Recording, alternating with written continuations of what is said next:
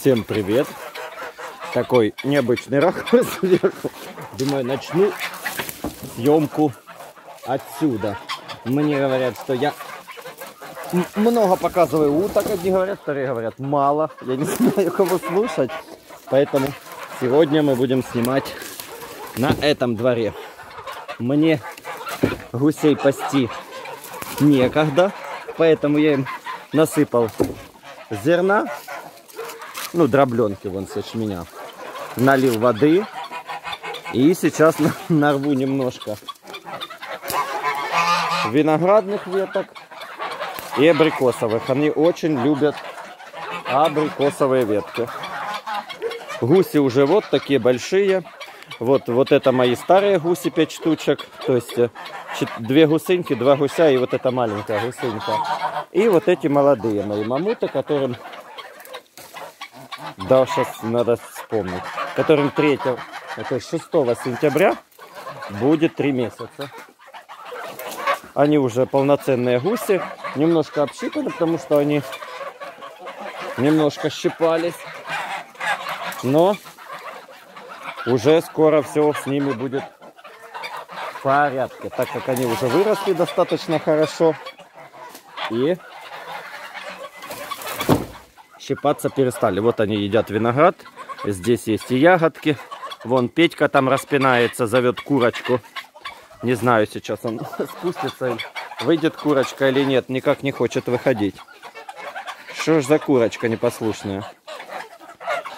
Вот там он ходят куры. Сейчас сходим и к ним. У меня, как всегда, ночная съемка. Вот так. Ну, все, успокоились. Сначала кинулись на листья, но теперь не сильно хотят. В общем, давайте спускаться с этой старой гнилой крыши, чтобы не провалиться. В прошлом году я делал вин- вино с этого винограда. Ну, это вот этот обычный мелкий винный виноград. Он уже поспел. Вкусный очень. Сюда гусей не выпускаю пока. Жду, пока высохнет их ставок, так как вода немножко здесь застоялась и завонялась. А так как с этой стороны у меня живут хорошие соседи, пакостить им не хочется. В общем, когда оно высохнет, потрескается, я вот эти все коржи сниму. Это коржи будут э, земли, с помё- ну, то есть с, с гусиным пометом, поэтому я его загребу и весь вывезу. И тогда, ну вот оно уже начинает трескаться. И тогда по-новому налью сюда воды. И они будут здесь опять купаться. Но пока этого не будет. Ванюшка вот здесь. Вот нарубал такую кучу слив вот этих. И нужно будет их вывести. Тесть прицеп забрал, пока я был на работе. И мне его некуда теперь убрать. Вот такие уже гуси. Ну, вот это вот маленький гусь, который от, ну, то есть от моих гусей. И еще где-то такой, но это та, которая была вообще маленькая, а второй немножко побольше, и он не сильно отличается от, э, от основной массы, но если долго приглядываться, его можно отличить и можно найти, где он. Э, Большие гуси, вон мои пять штук, они ходят вместе с этими, немножко и гоняют, но уже почти попривыкли. А гусынька, которая живет с курами, я говорил в прошлое воскресенье, пущу их, ее в общее стадо. И я попытался это сделать, даже попытался это заснять, но они ее обижают. Не пойму по какой причине, но вот именно эту гусыньку, может потому что она одна, они не хотят ее принимать в стадо. Так что она как ходила с курами, так и будет ходить. Вон грызет тыкву. Не тыкву, а ну, тыкву, да, для каши. У нее это хорошо получается. Собирает немножко зернышко, э, э, кусает тыкву. В общем, да неплохо ей здесь живется, поэтому пусть остается здесь. Еще мне говорят, что я мало снимаю кур, но у кур ничего не происходит. Сейчас они ушли в линьку, ходят вот такие страшные, облезшие, таких кур много. Вот у курицы лысая спина, смотрите какая. То есть все куры начали линять. Вон черная голошейка тоже с лысой спиной. еще, конечно, спины лысые от того, что у меня очень много петухов. И уже осень. Яйцо в инкубатор мне уже очень давно не нужно. Поэтому я начинаю петухов убирать.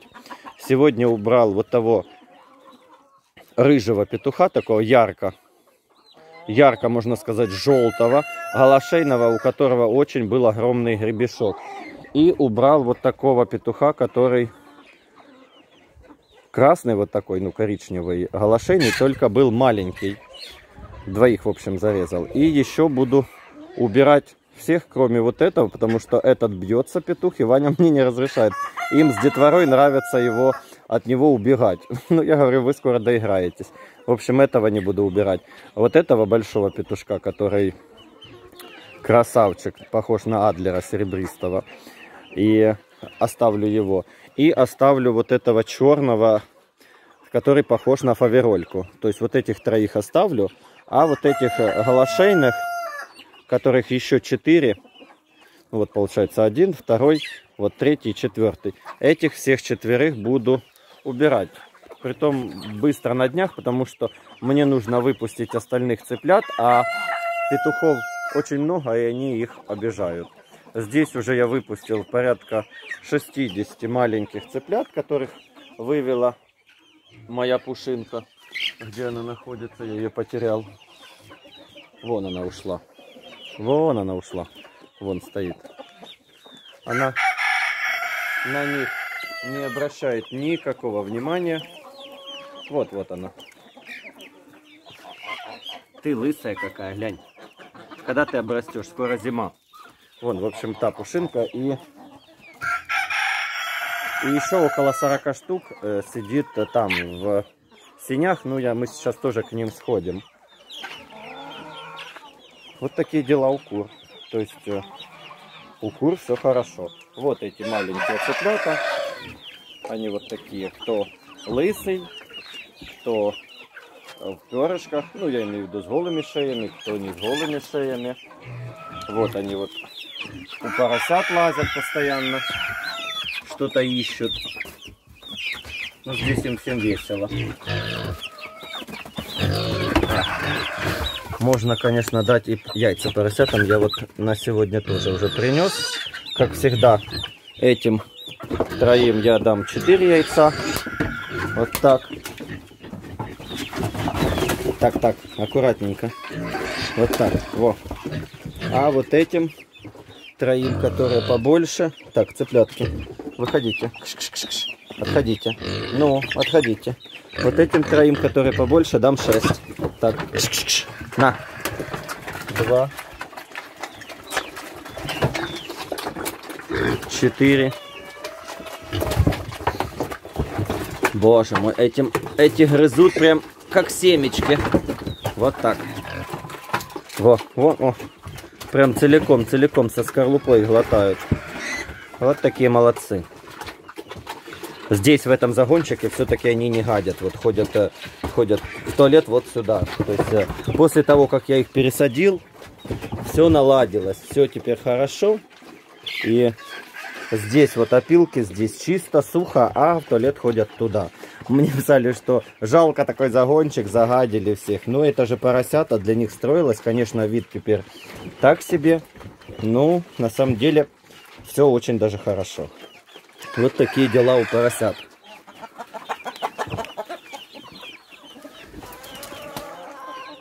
А, еще спрашивали, сколько мои куры несут яиц.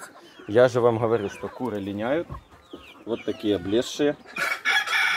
Даже если еще на них перо, но они выглядят облезшими, потому что э, перо такое бледное и выглядит так себе. Вот, смотрите, какая страшная курочка. Хотя гребешок красный, возможно, даже несется. Черная вон такая же. Цесарки, цесарки чувствуют себя хорошо. То есть все 9 цесарок очень даже хорошо себя здесь чувствуют. Еще не видно, где петушки, где курочки. Когда еще немножко подрастут, и у них э, у девочек, ну то есть у самочек вывернутся вот эти сережки, которые э, под клювом. То есть у самцов вывернутся вперед, а у самок останутся также висеть, как и висели. Пока я рассказываю, курочки меня слушают. Да? Сейчас пойду принесу им еще кабачков. Это утрешние, такие вот замазанные. Даже один остался. Нужно принести. А, вон еще забыл сказать. Вот же купил куб досок, доделывал немножко забора, а с этих досок буду строить клетку для кроликов. Вот там за этими досками сидит пушистый петушок, который будет нужен для пушинки. Вот, вот, цесарки прячутся. Выбегай, выбегай отсюда. Вот такой.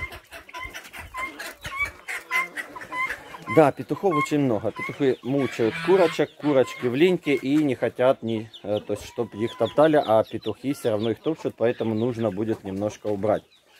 Ну, в общем, ну а сейчас сходим, посмотрим жителей дома. Так, гуси ветки пообъедали. Пообъедали.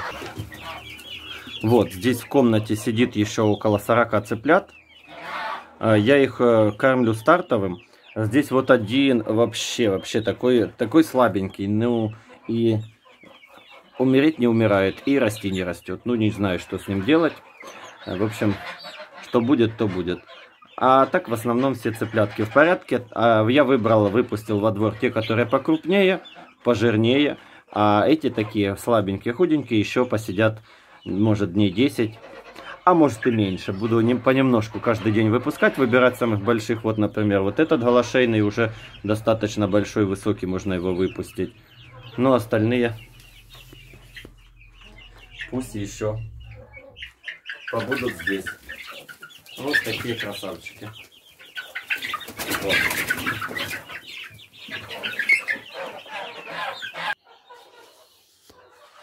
Здесь мои сидят кучеряшки, две штучки, и четыре карликовые курочки, то есть бентамочки. Две штучки я позавчера продал, петушка, вот такого же, как этот, и курочку вот такую же. То есть на два у меня стало меньше. Продал их по 50 гривен.